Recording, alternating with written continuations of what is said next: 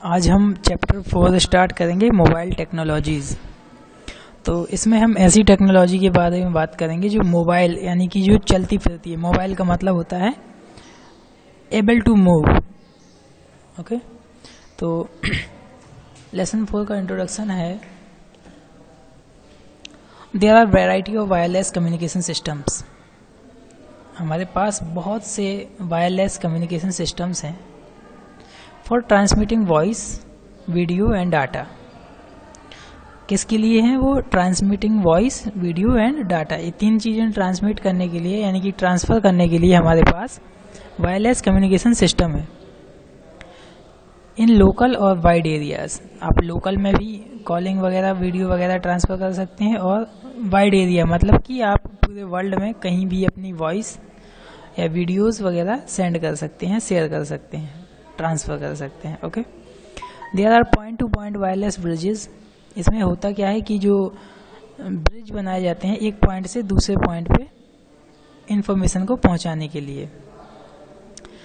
Wireless local area networks multi directional wireless cellular system and satellite communication system तो students wireless local area network का मतलब है जैसे आपके घर के जो कंप्यूटर्स हैं या जो मोबाइल डिवाइसेस हैं, वो सभी को आपस में कनेक्ट कर दिया जाता है, ठीक है? विदाउट एनी वायर तो ये बन जाता है हमारा wireless local area network okay तो इस काम में आती है ये सारी टेक्नोलॉजीज़ जैसे अगर आपका कंप्यूटर है, आपका मोबाइल है, आप दोनों को आपस में कनेक्ट करना चाहते हैं तो वाईफाई के थ्रू आप कनेक्ट कर सकते हैं उनको। विदाउट एनी वायर वो कनेक्ट हो जाएँगे ओके okay?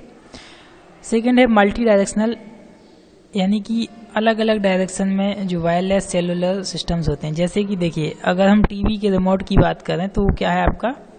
वो भी एक वायरलेस चीज़ है वायरलेस डिवाइस है। टीवी का रिमोट एसी का रिमोट हो गया आपका। तो ये रिमोट जो होते हैं, इनको आपको उस डिवाइस की डायरेक्शन में लगाना पड़ता है। जैसे जहाँ आपकी टीवी रखी हुई है, उसी साइड में आप रिमोट करेंगे, तभी वो काम करेगा। ठीक है? तो वो होता है आपका यूनी डायरेक्शनल वायरलेस एक ही डायरेक्शन में काम करेगा वो। जब वो उसके जस्ट सामने होगा। मल्टी डायरेक्शनल की बात ये होती है कि वो आप किसी भी डायरेक्शन में हो, और कहीं से भी आप, जैसे आपकी कार की कीज़ होती है, कार का जो वायरलेस सिस्टम होता है तो आप कार का रिमोट जब दबाते हैं बटन उससे तो आपकी कार किसी भी डायरेक्शन में खड़ी हो, वो लॉक हो जाती है या अनलॉक हो जाती है, जो भी आप करेंगे, ठीक है? सैटेलाइट कम्युनिकेशन सिस्टम की अगर हम बात करें तो जो आपकी डीटीएच वगैरह होती हैं, ये भी वायरलेस होती हैं। ठीक है? डीटीएच की बात कर रहा हूँ, जो आपकी छत पे जो छतरी लगी होती है डीटीएच की एंटीना जिसको हम कहते हैं, वो डायरेक्टली सैटेलाइट से सिग्नल कैच करता है और आपके जो आपकी टीवी है उसमें पिक्चर्स वगैरह चैनल्स वगैरह आने लगते हैं। तो ये सैटेलाइट कम्युनिकेशन सिस्टम हो गया ओके नेक्स्ट है the mobile wireless technologies provide voice and data communication तो वायरलेस टेक्नोलॉजी से क्या क्या होता है? Voice and data communication services से मिलती है हमें। वॉइस का मतलब है जैसे हम वॉइस कॉलिंग करते हैं कॉल करते हैं तो उसको हम क्या कहते हैं? वॉइस कॉल तो दूसरा होता है वीडियो कॉल और तीसरा है डाटा कम्युनिकेशन यानी कि हम डाटा भी ट्रांसफ़र कर सकते हैं। जैसे कि हम ब्लूटूथ का यूज़ करते थे पहले ब्लूटूथ से क्या होता है कि एक मोबाइल से दूसरे मोबाइल में डाटा ट्रांसफ़र हो जाता है। लेकिन उसको उसका एक कंडीशन क्या है कि आपके पास डिवाइस आपके साथ साथ होनी चाहिए, आपके आसपास होनी चाहिए। तो ये भी वायरलेस है। तो वायरलेस का यूज़ क्या है? Voice and data communication service to mobile users who use cell phones PDA internet terminals and related computing devices तो इससे देखिए आपने आपके पास क्या क्या होना चाहिए? सेल फ़ोन होना चाहिए पीडीए यानी कि एक टैबलेट होती है PDA personal digital assistant and internet terminals और आपके पास इंटरनेट की कनेक्टिविटी होनी चाहिए, ठीक है? तो आप यहाँ देख सकते हैं इस पिक्चर के थ्रू इंटरनेट इंटरनेट से आपका मॉडर्म कनेक्ट है मॉडर्म से आपका वायरलेस राउटर कनेक्ट है, जो कि आपके नेटवर्क को कम्प्लीटली वायरलेस बना देता है। इससे आप मोबाइल लैपटॉप डेस्कटॉप सभी चीज़ों को कनेक्ट कर सकते हैं। ओके वो सभी में आप इंटरनेट यूज़ कर सकते हैं। नेक्स्ट लिखा है wireless communication involve transmitting signals through air and space using radio waves तो जो वायरलेस कम्युनिकेशन है, ये सिग्नल ट्रांसमिट करता है कैसे? एयर में। विदाउट जगह, जहाँ पे हवा अवेलेबल नहीं है, वहाँ पे ये वायरलेस नेटवर्क काम नहीं करते हैं। ठीक है? अगर हम बात करें कि जैसे अगर आप मून पे जाएँगे, चाँद पे जाएँगे आप तो वहाँ पे हवा नहीं है, आपको पता है, वहाँ पे हवा नहीं है। और वहाँ पे आप वायरलेस का यूज़ करना चाहें तो वहाँ पे यूज़ नहीं होगा ओके क्योंकि हवा के थ्रू ये सिग्नल्स जाते हैं वायरलेस के जो सिग्नल्स होते हैं कैसे ट्रेवल करते हैं? हवा के थ्रू और इसमें कौन सी वेव्स होती हैं? रेडियो वेव्स हम इनको कहते हैं। अगर हम किसी भी वायरलेस डिवाइस की बात करें रिमोट के अलावा तो सभी में क्या होती है आपकी? रेडियो वेव्स होती हैं। लेकिन अगर रिमोट की बात करें तो रिमोट में हमारी इंफ्रारेड वेव्स होती हैं। ठीक है? रेज कह सकते हैं उनको हम। वेव्स नहीं कहेंगे। इंफ्रारेड इंफ्रारेड रेज किरणें लाल कलर की होती हैं वो, ठीक है? तो ये रेडियो वेव्स कहलाती हैं, okay? Wireless spectrum is allocated by government and international organisation. For example, the cellular service in India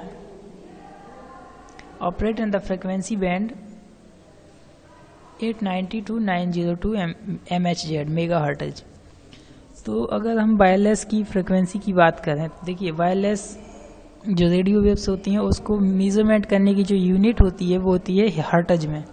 Kilo hertz mega hertz giga hertz ठीक है? तो इंडिया में जो फ्रिक्वेंसी है, वो कितनी होती है? मोबाइल की अगर हम बात करें तो 890 मेगा हर्टज से लेके 902 इसमें गलत लिखा है।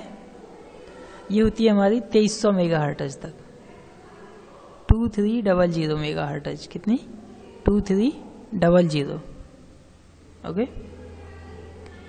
नौ सौ सौ से तेईस सौ मेगा तक इसकी फ्रिक्वेंसी रेंज होती है इंडिया में। The higher the radio frequency the greater the bandwidth and the data carrying capacity of wireless system जितनी ज़्यादा फ्रिक्वेंसी होगी आपके मोबाइल की, आपके सिम कार्ड की, उतना ही फास्ट आपके मोबाइल में इंटरनेट चलेगा। उतना ही फास्ट उसमें डाटा कैरिंग कैपेसिटी होगी। यानी कि डाटा ट्रांसफ़र रेट उसका उतना ही फास्ट होगा। ओके सपोज़ अगर आपके पास स्मार्टफ़ोन है जो कि 4G जिसमें सिम डलती है, उसकी फ्रिक्वेंसी हाई होती है मैक्सिमम फ्रिक्वेंसी होती है उसकी। तो उससे आप इजीली काम कर सकते हैं और आप 2G फ़ोन यूज़ कर रहे हैं तो उससे आपको थोड़ा सा टाइम लगेगा।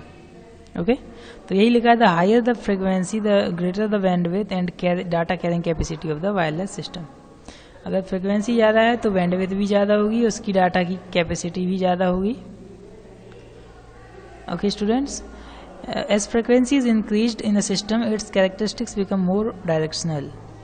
जैसे ही फ्रिक्वेंसी बढ़ती है वैसे ही उसकी डायरेक्शंस भी बढ़ जाती हैं, आप कहीं से भी कितनी भी डिस्टेंस से उसको कैच कर सकते हैं, उसको कनेक्ट कर सकते हैं। And the signal are more susceptible to atmosphere condition such as rain और फॉग तो देखिए रेन और फॉग हम बात करें, अगर हमने फ्रिक्वेंसी बढ़ाई है, जैसे कि 2G की फ्रिक्वेंसी होती थी 900 और 4G की जो 4G की फ्रिक्वेंसी है 4G सिम की, वो है आपकी 2300 मेगाहर्ट्ज तो ये फ्रिक्वेंसी बड़ी है तो आप देखेंगे कि कभी जब भी तेज बारिश होती है फॉग होता है या तेज हवाएँ, भूकंप वगैरह होता है, जब भी नेचुरल डिजास्टर होते हैं तो आपके जो सिग्नल्स हैं वो वीक पड़ने लगते हैं 2G के। लेकिन 4G के आपके नेटवर्क कभी भी वीक ऐसी कंडीशंस में नहीं होते, क्योंकि उसकी फ्रिक्वेंसी ज़्यादा होती है। तो स्टूडेंट्स आज के लिए बस इतना ही। Thank you have a nice day